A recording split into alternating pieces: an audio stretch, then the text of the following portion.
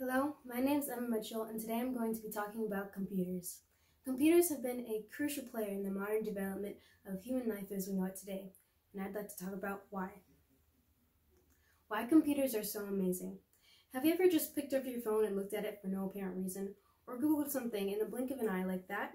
Now you may be wondering why I'm talking about these things just because they are so mundane to our day, in our day-to-day lives. Well, that you see, that's exactly why I'd like to talk about them today, because I believe we sometimes forget how amazing computers truly are.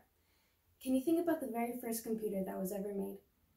Now, some of you may be thinking about the ginormous NASA computers that we used, that America used in, in the 1960s to get to the moon. Others of you may be thinking about the Enigma machines made by the Germans in World War II to hide messages from the Allies but the real in the know of you will be thinking about this. This is called the difference machine. It is made by Charles Babbage in Charles Babbage in 1822 and it was the very first calculator and computer ever made. Computers have connected us all. They, cha- they have changed how we gather information and accomplish our goals, with whether we're in a group or with multiple other people. Um, we, this is why I believe that they are that they it is so important for us to learn more about them. Just because they are a ginormous facet of our day-to-day lives today knowing something that is so uh, so influential in our lives is powerful and knowledge is power. So we should all take the time to learn more. So listen to what i have to say today. Now it is no surprise that many people have uh, computers and a lot of those are just only an arm's reach away According to this quote by the Pew Research Center, after a survey they've done, they say, Today is estimated that more than 5 billion people have mobile devices, and over half of the, these connections are smartphones.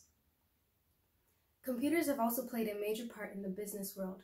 This is a quote from uh, BizFluent, uh, basically about focusing a lot on the 1980s and the 1990s when computers first entered the workplace as a as a way to help um, businesses do things more efficiently.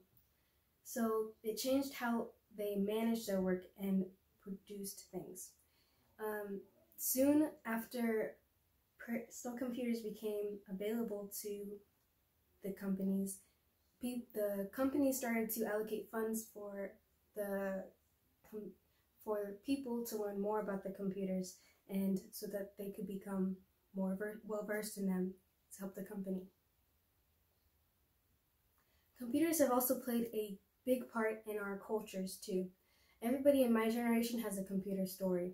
My story, my first computer looked a lot like this. This is a 2004 desktop computer. I remember my favorite application on this computer was actually the PowerPoint function because I loved making collages and about things that I liked, like like uh, the seasons and other things like that.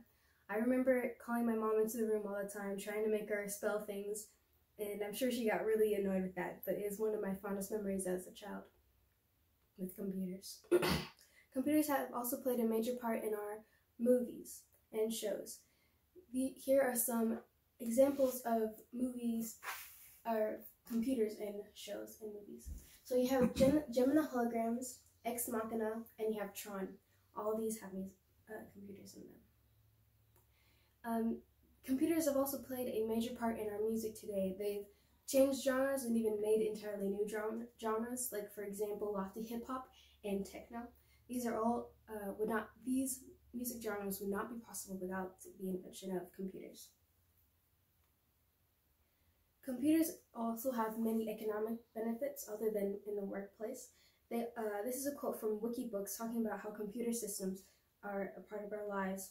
Computers benefit the business and personal world by being able to do the following more efficiently buying and selling products, communicating throughout the world, enhancing our knowledge, job influences, entertainment, research, and paying the bills. Computers have also have a major computers and machines also are a big part of our lives too. The marriage of computers and machines is called robotics. Now, many people are afraid of robotics because they focus on all the things that could go wrong, but today I want to focus on all the things that could go right. Like, for example, 3D printers. This is a quote from The Social Good. It says, as this technology spreads, it could help connect marginalized and difficult to reach populations with essential products. All in all, this emerging technology has the potential to revolutionize our societies and, tra- and transform the development sector. In conclusion, computers have played a, been a major player in the modern development of human humans human lifestyle today. Computers are a part of us. They're a part of our personal and our work lives. They're a part of our past, part of our present, and a part of our future. They are here to stay, for better or for worse. As technology becomes more prevalent in our day to day lives, we need to take the time to learn more about it because that would be in our best interest. I encourage you to learn more about this after this talk just to better yourselves and better the world around you. This is a quote by this is a quote by Neil deGrasse Tyson, just basically talking about innovation in our society and how it would be beneficial uh, and how it could really change how we face the world. So he says, once you have an innovation culture, even those who are not scientists or engineers, poets, actors, journalists, they as communities embrace the meaning of what it is to be scientifically literate. They embrace the concepts of an innovation culture. They vote in ways that promote it. They don't fight science and they don't fight, fight technology. Thank you. Here are some websites that you might want to look at to learn more about computers.